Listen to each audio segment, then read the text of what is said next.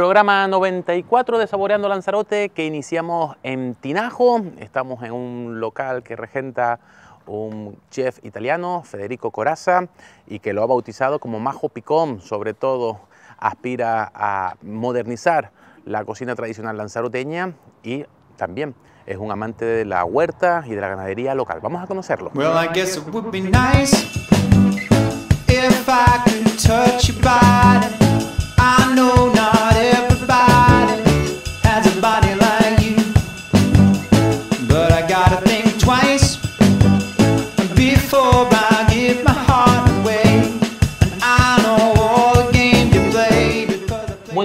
Este nombre tan autóctono y con un italiano al frente, con Federico Corazza, lo que Encantado. se... Buenas, señor, ¿todo Encantado. bien? Sí, todo bien, Lo que gracias. se adivina es que siente un gran amor por la lanzaroteña, Bueno, los lanzaroteños, ¿no? Acertaste, sí, Eso, exactamente. eso es Majo Picón en esencia. Eso sí, sí, esta era la idea del nombre y bueno, para identificar un poco lo que estamos haciendo, o sea, o sea trabajando con, ah, con lo que es el producto de la isla y bueno, identificarnos un poco con, ah, con los majos, ¿no? Y- Ok.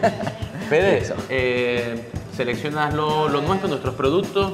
Aquí Tinajo es tierra de buenas huertas, Sí, buenas huertas. buena ganadería. Efectivamente, sí. ¿Nos cuentas un poquito eh, qué es lo que ofrece la carta de Majo Picón? Algunos platos estrellas. Eh, bueno, fundamentalmente yo intento trabajar el producto local, como tú ya, ya comentaste, y, y, bueno, hacer eh, igual eh, evolucionar un poco los platos de la tradición en, eh, en una manera más moderna y más, más fácil para, para un público joven y para los extranjeros que igual eh, ¿no? en la manera tradicional ya le, le cuesta un poquito a, a probar algunas cosas y entonces intento transformarla como co- por ejemplo el estofado de cabra que lo, lo pongo en una croqueta o, o en, una, en un pan al vapor chino ¿no? y Pambao. pambao, exactamente ¿no? y también Y- lo, lo- lo rellenas con. y carne lo de rellenamos cabra. con carne de cabra sí sí ah, Luego estaba mirando la, la- la carta, me llama la atención las croquetas de potaje de lentejas, que también Exactamente. unas croquetas bastante originales y con un guiño al mundo vegano también. ¿no? Exactamente, la idea era ah, más bien vegetariano porque le añado también un poquito de queso fresco Ok. y gofio. Bueno, el queso fresco entonces ya no estamos en el mundo vegano, pero bueno, para también una manera más divertida para probar un potaje, ¿no? En una croqueta, que incluso niños, que madres que me dicen que en casa no, nunca comen potaje y la, cro- la, una cro- vía, ¿no? y la croqueta le encanta a los niños, así que bueno, esta era la idea. Muy bien. Pues Federico, si te parece, te seguimos en cocina. Por supuesto. Y vemos cómo presentas o cómo transformas esa- los productos locales en cocina moderna. Por supuesto. Y luego le metemos el diente, si te parece. Me parece muy bien. Gracias. A ti.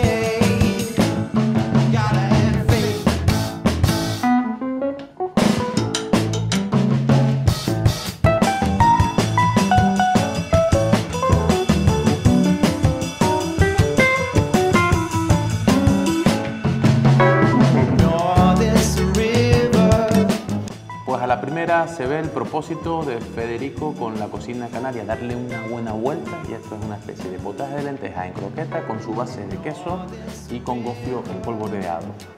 Croquetas, que nos han hablado maravilla, de estofado de carne de cabra que tiene que estar fabuloso.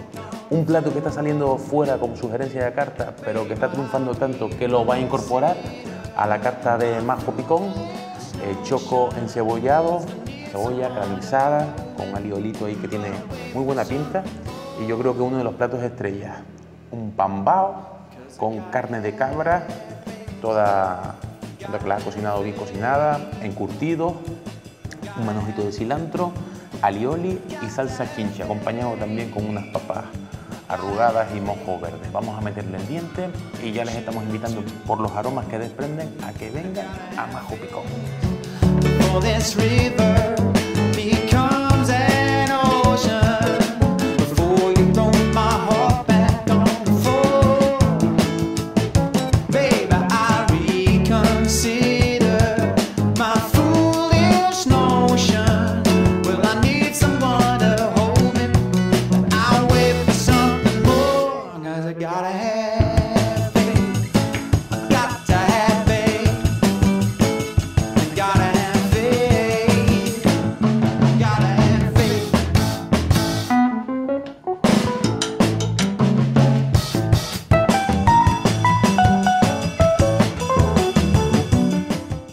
Majo Picón abre todos los días, excepto los martes, en horario de almuerzo y cena, de 12 y media del mediodía a 4 de la tarde y de 6 y media de la tarde a 10 de la noche. Se localiza en la calle Miguel la Antigua número 18 de Tinajo.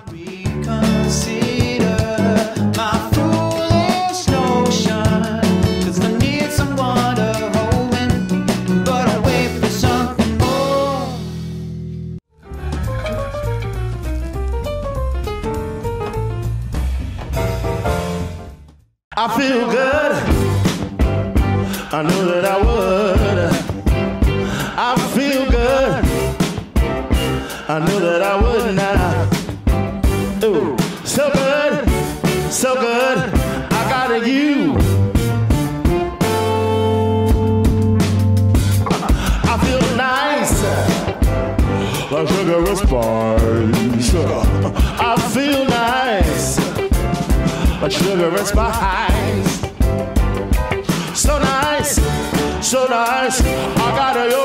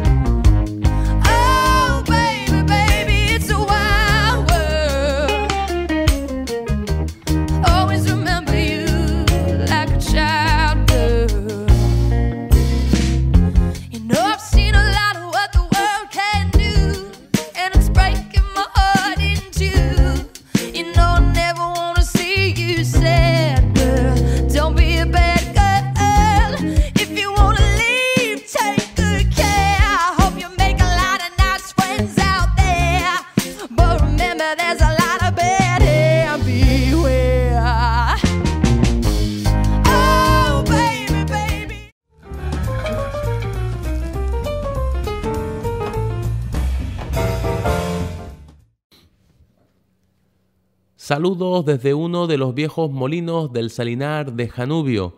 Estamos de vuelta a uno de los rincones más atractivos de la geografía del municipio de Yaiza, porque el lugar acaba de incorporar el sistema de visitas guiadas e interpretadas.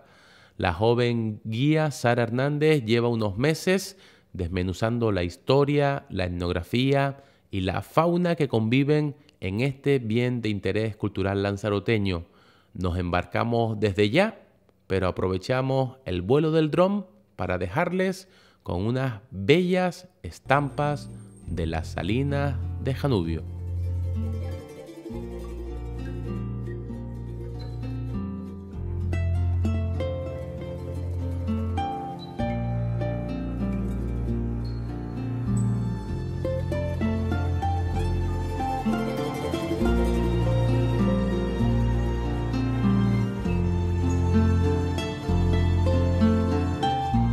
Vamos a conocer con detalle este sistema de reciente de visita guiada para conocer en profundidad las salinas de Janubio. Estamos con la guía de esta experiencia que se llama Sara Hernández, muy buena. Hola, buenos ¿Todo días. bien? Sí, Bueno, gracias, gracias por venir. Nada, encantados de conocer esta iniciativa y claro que uno, mm, una visita guiada, que vienes a, a ver la sal, solo, solo es la sal, solo es la arquitectura o hay muchas cosas detrás de lo que es esta intervención. Es una visita guiada en uno de los paisajes más singulares que tenemos en Lanzarote y no solamente en Lanzarote, sino en general en las Islas Canarias. ¿no?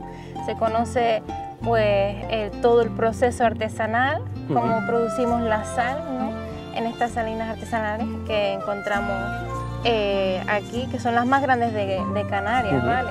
Eh, se descubre también pues toda la biodiversidad, ¿no? Estamos en uno de estos ingenios que ha realizado el ser humano, el hombre en Lanzarote, pero en el que conviven también una vida bastante curiosa, ¿no? específica, con mucha salinidad y, y que no deja de sorprender al visitante. Entre otras cosas, antes veíamos a un par de bichillos por ahí, te veía con los prismáticos.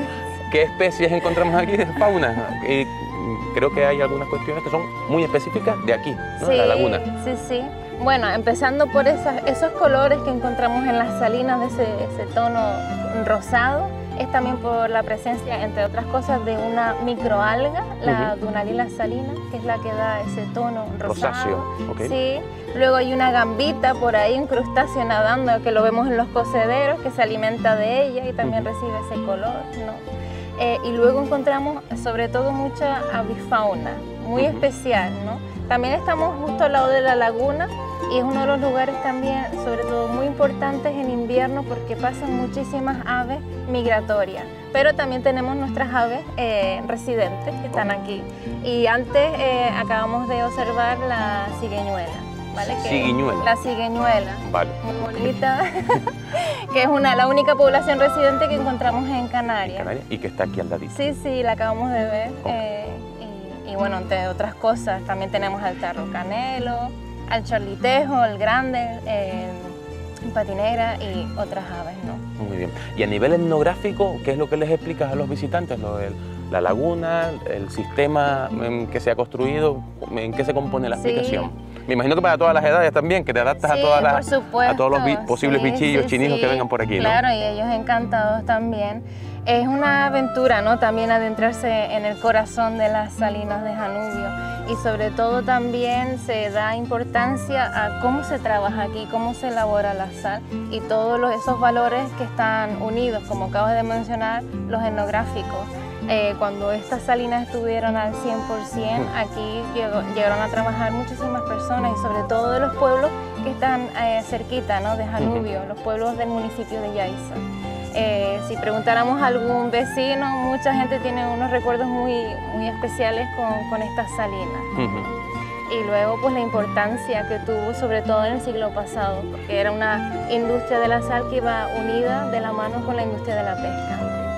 Eh, Sara, entre las actividades más estrellas, si da tiempo en la visita, se incluye lo de meternos en, en plena Sí. salina y a recoger sal, ¿no? Y aprovechando esta época de zafra, que estamos Claro. hasta finales de octubre, claro. ¿Te parece? Hacemos un pequeño Kit Kat y me llevas a una salina. Yo Sí, espero no sí. destrozarla. Y me explicas cómo. Yo te explico, sí, Vale. sí. Pues muy bien, seguimos Muy bien. de visita en Vamos Salinas para allá. Vamos para allá.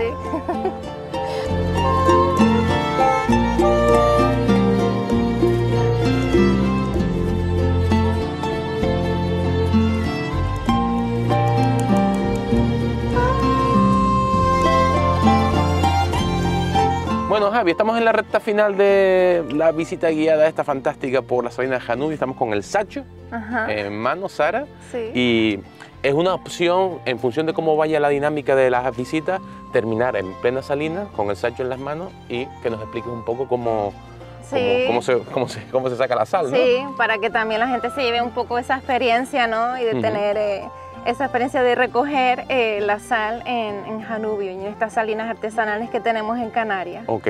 Sí. Y estamos en, en medio de, de la salina, ¿no? Ajá. Eh, este rectangulito es la salina, todas son las salinas. Sí, estamos ya en lo que se denomina el tajo. ¿vale? Aquí estamos en un tajo un poco complejo porque aquí tenemos tres en vez de dos, que es lo normal, y también se denomina cristalizadores. Aquí, una vez que lo llenamos con agua, eh, esperamos unos 15, 20 días, ya comenzamos a ver cada vez más capas de cristal. Vale. Entonces ya comenzamos a recoger. Porque es eh, importante toda el esta agua. Sara. Sí, eh, es importante recogerlo siempre con agua porque si lo dejamos secar por completo se pegaría al fondo que es de barro. Entonces ya esa sal se va a ensuciar.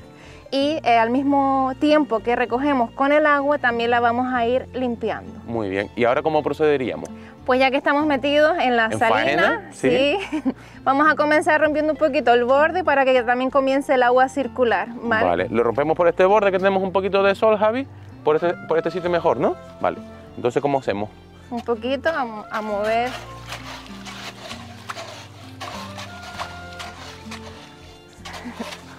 Yo estoy haciendo como que lo hago, ¿eh? Hay que tener mucho cuidado, darle la vuelta al Sancho. Ajá. Así vamos muy al fondo. Hay que tener mucho cuidado Vale. de no ir muy al fondo porque sabemos que el fondo es de... Barro. Muy bien. Ok, ok, estoy empollado. Muy bien. Entonces si no se enturbiaría, ¿vale? Vale. Y ya... Vamos a ir moviendo todo. Ujú. Tú puedes seguir hasta la esquinita. Venga, Muy bien. Vamos.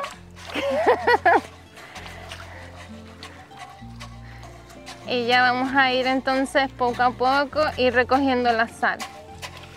Estamos en el medio, ¿vale? Vale. Eso quiere decir que la sal que vayamos a recoger hay que, hay que llevarla o a la izquierda o a la derecha, porque luego tiene que ir al siguiente tajo que previamente tenemos que haber hecho para luego añadirlo. Se va trasladando de tajo en tajo. En este caso sí, porque tenemos tres.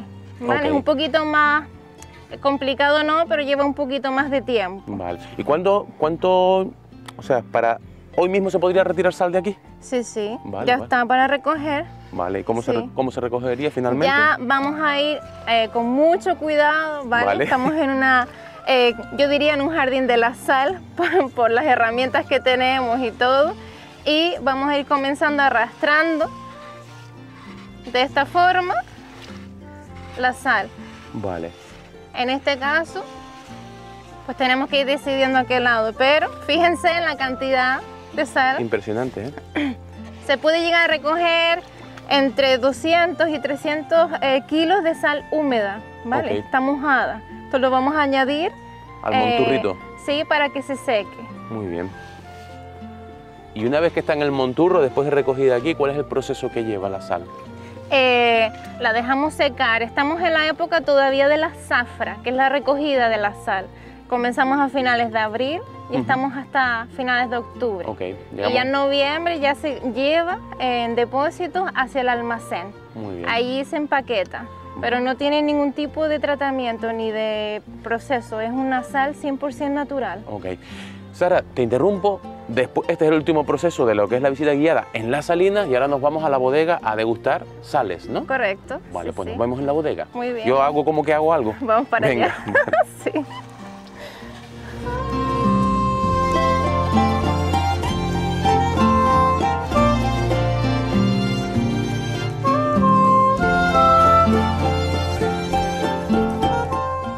Bueno, Sara me ha sacado el cuero, ¿eh? Al final he sacado cuántos kilos de sal ahí. He sudado la gota, ¿eh? Sí, sí. De, De- eso también se trata, no son bromas. Después de la visita al salinar, la visita guiada, valga la redundancia, termina aquí, en la Sí. bodega, el almacén de la sal, viene a ser, sí, bodegas Janubio. bodega Janubio, y concluye, entre otras cosas, con una cata de sal o de sales, en Sí, este caso, ¿no? ¿Cuáles, correcto. cuáles serían las que componen la, lo que es la visita, la, la Eh, cata? Luego hay algunas sorpresitas, pero no- hoy no tenemos Sí, tiempo porque te están esperando ahí que se van muchos visitantes. Eh, es muy importante también compartir cómo realizamos el empaquetado, por eso terminamos también la bodega de Janubio y por supuestísimo pues con una degustación de sales. Ujú. Nosotros tenemos dos productos, la flor de sal, que es la joya de la Producto casa. estrella, ¿no? Sí. Sí, correcto.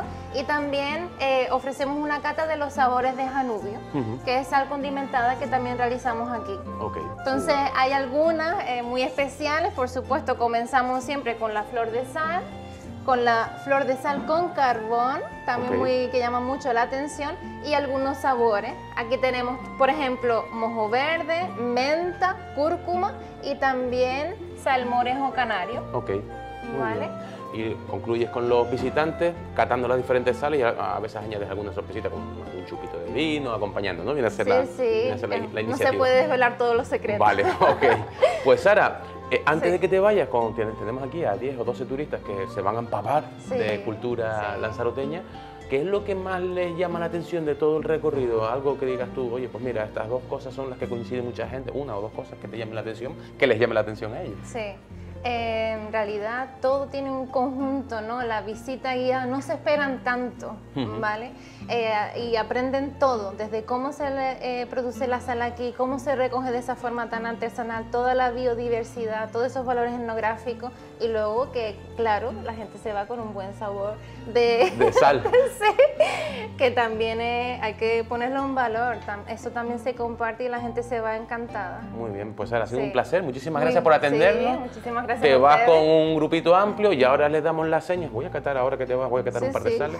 Y ahora damos las señas de cómo pueden. Y bueno, bueno, vienen turistas, pero hemos aprendido muchísimo. Cualquier residente va a abrirse a un Sí. abanico de información interesante, Siempre, ¿no? siempre se aprende algo. Esperemos que venga mucha gente, Sara. Sí, Venga, muchas gracias. Muchas gracias. Muy bien, buenos días. Pues le metemos eh, sal en boca, la que he recogido eh, con el sudor de mi frente, y concluimos el- la visita guiada a la salina de Janubio. Le damos la seña enseguida.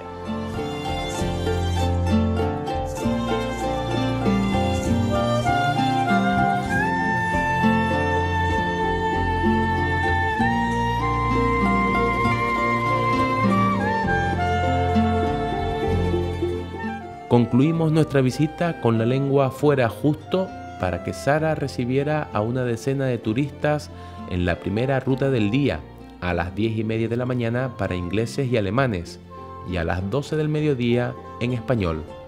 La posibilidad es diaria de lunes a viernes. El precio general es de 12 euros para adultos y 6 euros para menores entre 6 y 12 años.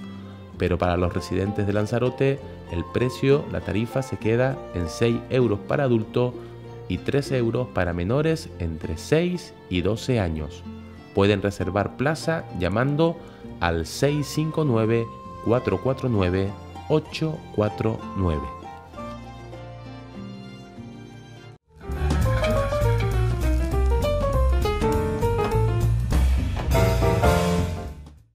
Well, I guess it would be nice if I could touch your body.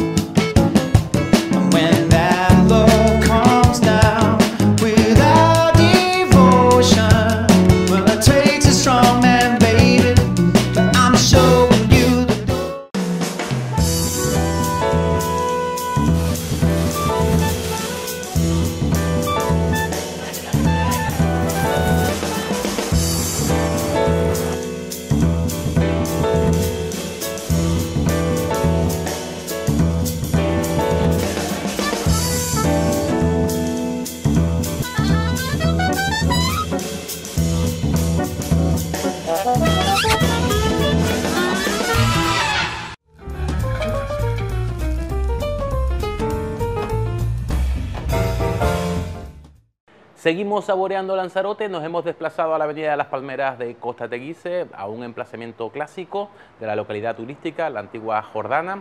Hoy una excelente tratoría italiana, restaurante italiano San Marco. Vamos a conocer con detalle qué nos ofrecen.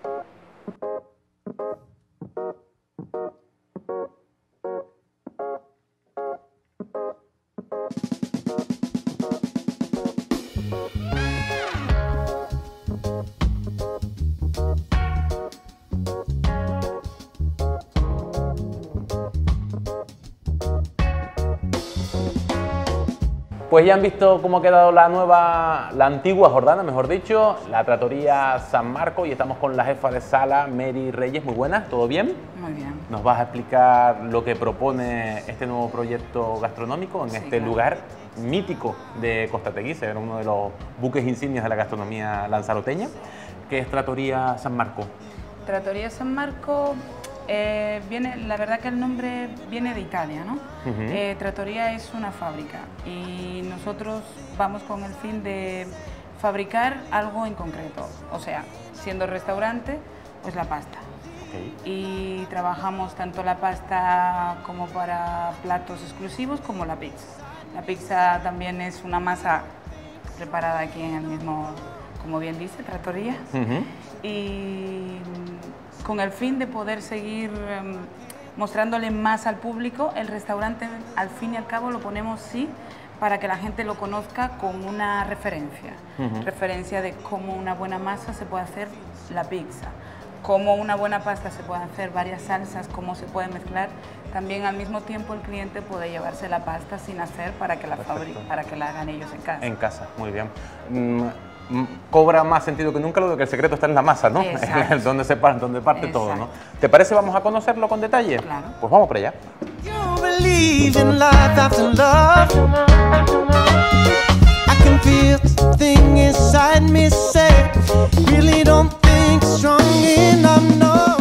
Bueno, pues lo del secreto que está en la masa, hemos cogido al chef, a Eduardo, elaborando espaguetis, ¿no? Me parece, ¿no? sí, Sí. espaguetis. Y con estas dos máquinas hacen de todo.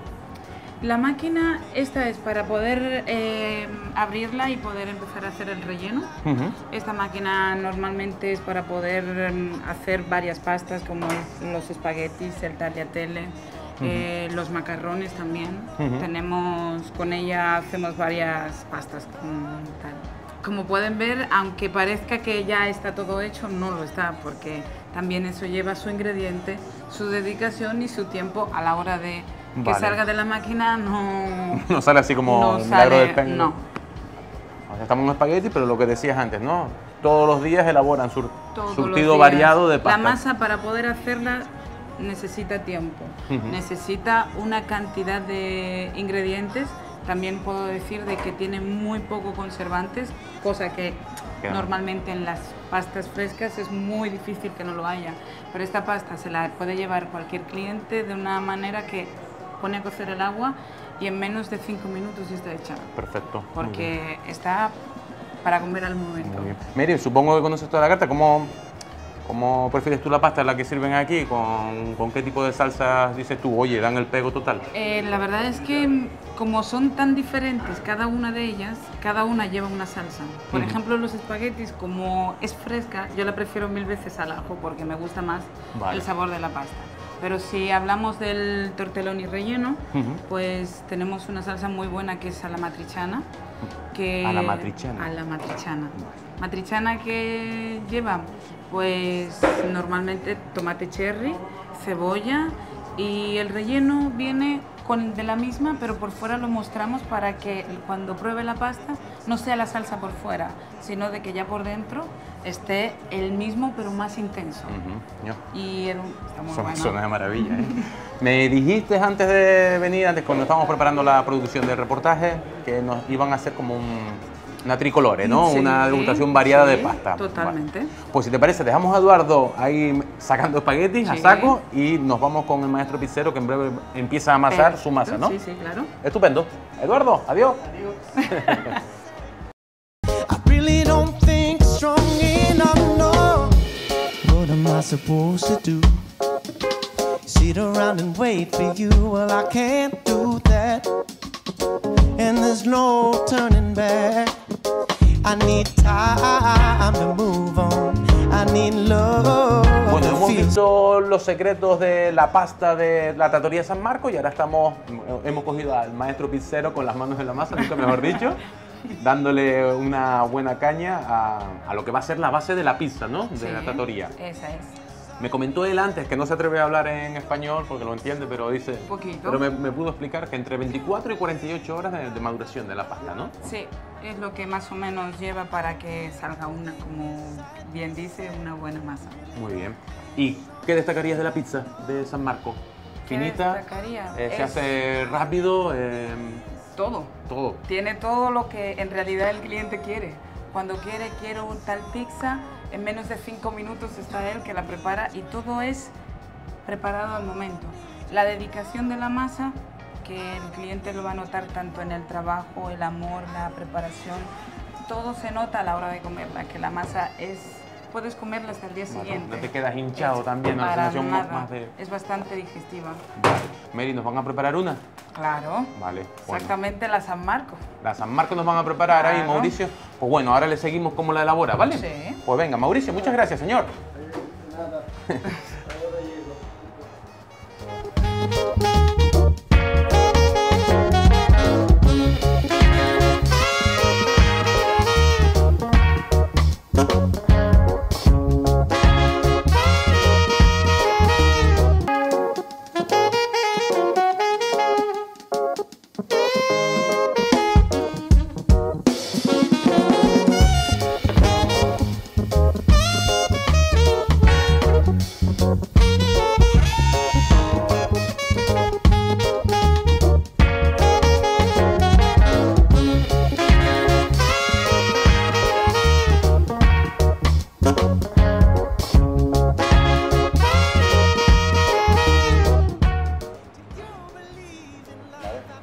El proceso artesanal de la Trattoria San Marco concluye en la mesa la pasta rellena de ricota y espinaca con una base de, de ragú y eh, esta con una salsita de salvia.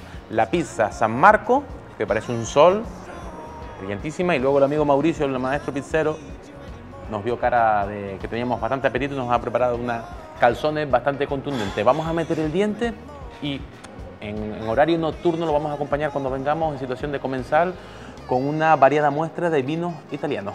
Vamos para allá.